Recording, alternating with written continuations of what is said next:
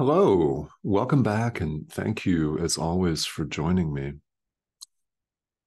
Let's do something today that we all need to do more often, far more often, as it turns out.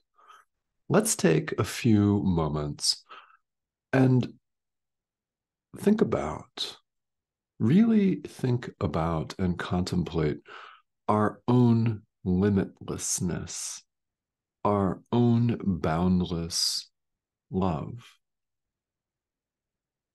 Boundless.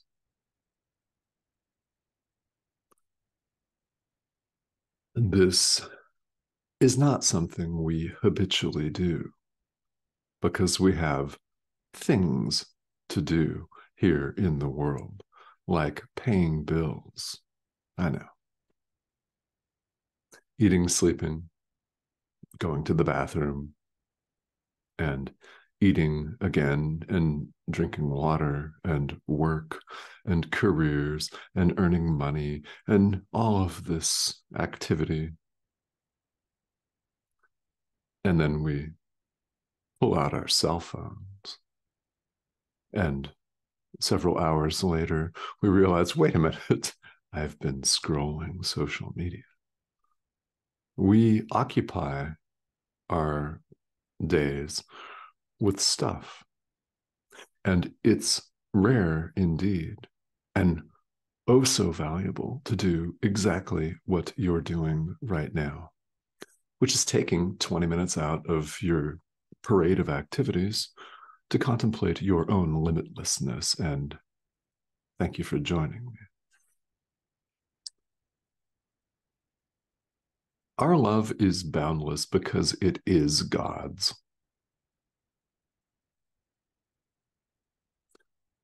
Your love, your entire being is boundless because it is God's.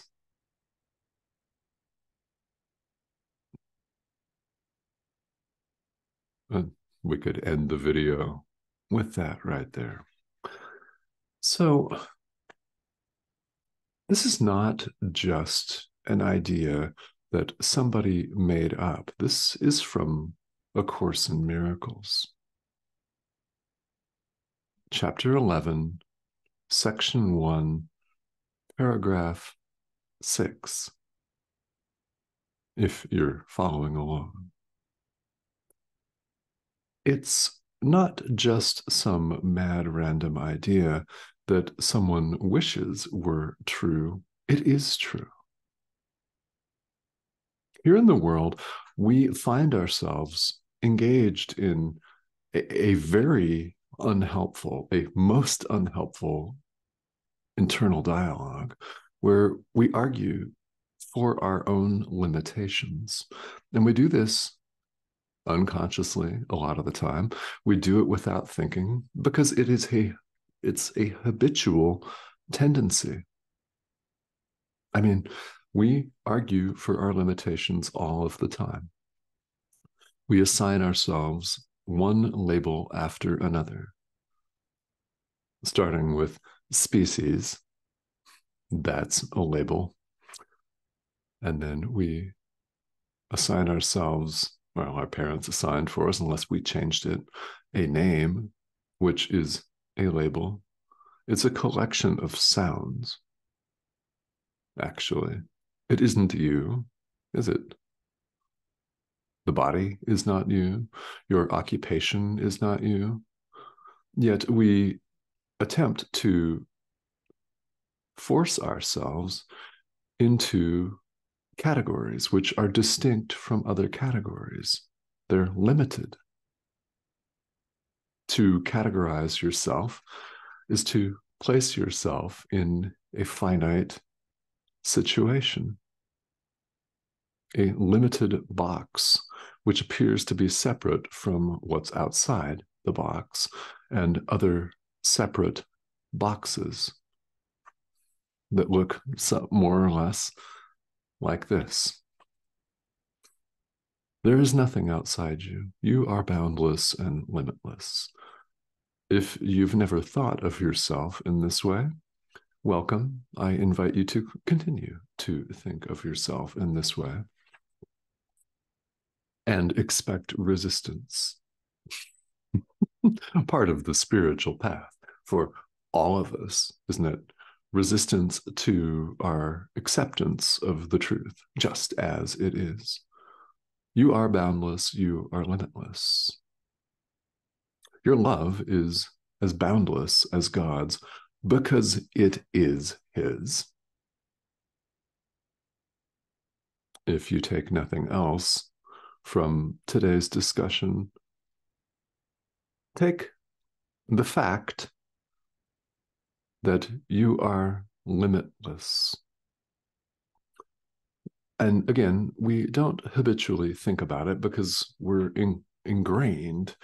Our minds are, are, well, indoctrinated let's be honest, our, our, conditioning by society, the societies that we live in or grew up in, our parents, schools, the mass media, all of the constant barrage of advertising that we just unwittingly consume and, and think nothing of it.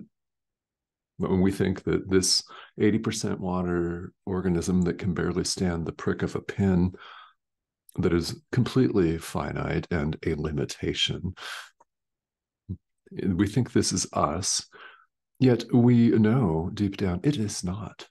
It's not. It, it's worth repeating. It, it's worth repeating on the spiritual path because we're all on this path because we know better.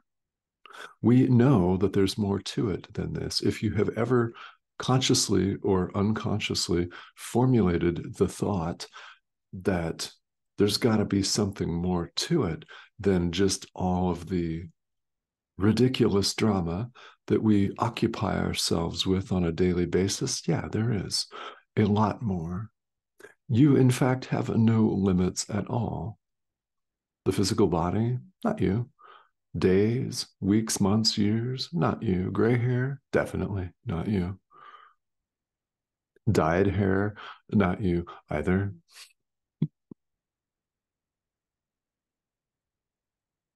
who you are is completely unlimited.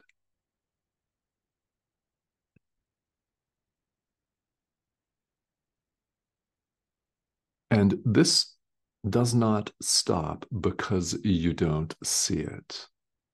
Paragraph five. Jesus tells us the universe of love does not stop because you don't see it. Yeah, it doesn't stop just because we choose not to see it. We could cover our eyes, close our eyes if we want to, but it doesn't stop truth from being true. We could close our eyes and go off and run and hide from the light, but it doesn't stop the light from still being there. The truth simply is. Now, we could choose to accept it and allow it or not. And when we don't, we're asleep, in a manner of speaking. This is a dream. A dream. So, God, love, same, continues on and on and on and simply is just because we've chosen not to see it doesn't make it any less true. Someone can deny truth all they want, but truth is still true. It's still there, even if someone has covered their eyes.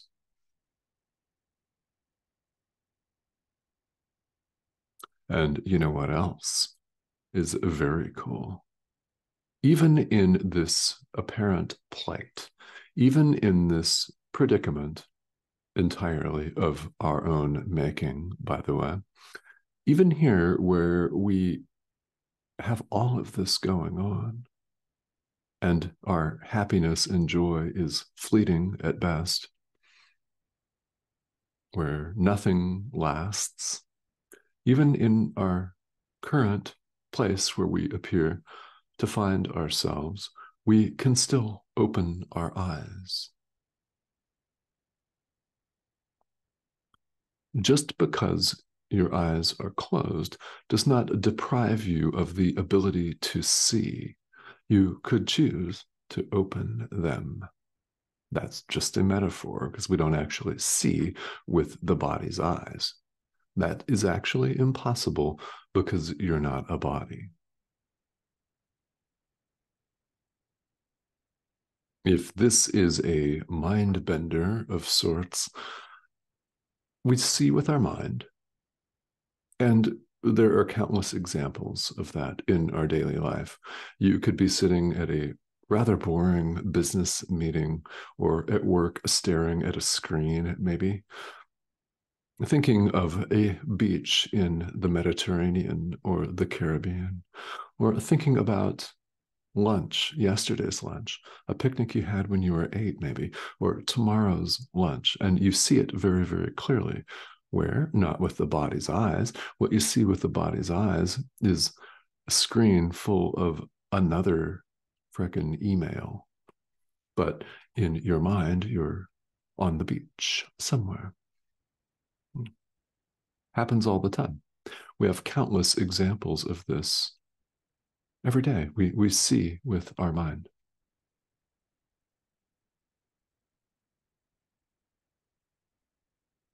we can choose right here in the present moment to open our eyes. We could choose to set this dream, this painful dream, aside. Because it is a dream and it's very helpful. It's very useful indeed to liken this to a dream that we have at night, where the images that appear in the dream are real to us we make them real. We're flying, someone else is flying. We're walking through walls or interacting with beings that we've never seen before, where we have abilities that we don't appear to have here, encased in this 80% water thing that we call us, which isn't us. I keep repeating that. Yeah, there are many reasons why. So we violate in the dream all of the laws of governance that we've appeared to agree on here in the world, like a Newtonian physics. Yeah, this thing can't fly here in the world, but in the dream, it takes off and soars and does other things. Yet when we awaken, whether the dream was hot, sexy, and beautiful, because it could be hot, sexy, and beautiful, or it could be hellish and scary, a nightmare. And often it's a vacillation between the two. One minute, gorgeous, the next minute, ugly. Yet when we wake up, we recognize instantly that it was all nothing. It was a dream. The images that appeared so real are gone. And we recognize instantly they were never there. They were never there. Never there. Never there. Never there. You can call awakening anything that you want. Enlightenment is, is a common way to think of it liberation, realizing God. It's called different things in different traditions here in the world, but it's an awakening. It's waking from the dream to your own boundlessness, which, by the way, we can access right here, right now, even while we appear to be here checking our email and staring at a screen. You might be in a position where someone's paying you money to continue to pay the rent or the mortgage and feed yourself. And in exchange for that, you're staring at a screen or you're typing an expense report or you're at a meeting where you would rather be somewhere else. I don't know. We all appear to be doing different things here in the world. And I stress appear to be, because in truth, we've never left our source. We are perfectly one. God is. And let's wrap it up, coming full circle to your own boundlessness, your own limitlessness. Your love is as boundless as God's because it is His. Who, where, and what are you? You know. I know you know. We all know. We all want the peace of God, or we would not be watching this. Because we all know there's a lot of other content out there. So you're here. Something has been said that you need to hear today. That is the voice of your inner teacher. When something lands, it's definitely your inner teacher. What you're looking at here on your device is a pixelated image on your screen. When something lands, it's your inner teacher speaking to you. You would do very well indeed to pay attention to the message because you were meant to hear it today. And then put it into practice because that's where we really learn. We learn by sharing and by putting things into practical application. How we keep love and anything in our mind is by giving it away, not by hoarding it, but by giving it. Practical application is how we learn this course. Yes, it's one thing to understand the teachings intellectually, no problem. It's far more important to put them into practice because our experience shows us these ideas are true. We effectively prove it to ourselves. Yeah, that's how we really learn. Want proof? Fantastic. Good. You should want proof. Prove it to yourself. I invite you. All right. So, thank you to all of you for joining me here today. And I want to extend the invitation to ask questions. Spiritual inquiry, well, it's inquiry, isn't it? So, questions are a natural and expected part of this process. There's no way that you can earnestly study this course without generating lots of questions. So, yes, ask your inner teacher for guidance. Do that first and foremost. But you're more than welcome to ask questions here on the comment thread here on YouTube. There have been a number of, of excellent questions and discussions lately, and those are always 100% welcome. So if you've got questions, please leave them. And if you haven't yet subscribed, we'd love to have you join us. This is the subscription over here, this arrow click or hover over that, you'll be prompted to subscribe and join us. And we have several videos each week. We're going through the text of A Course in Miracles, which means we have a lot to talk about. We're on chapter 11 out of 31, after all, which means a lot more discussion. All right, questions? Please ask them if you've got them. And I will see you all again very soon.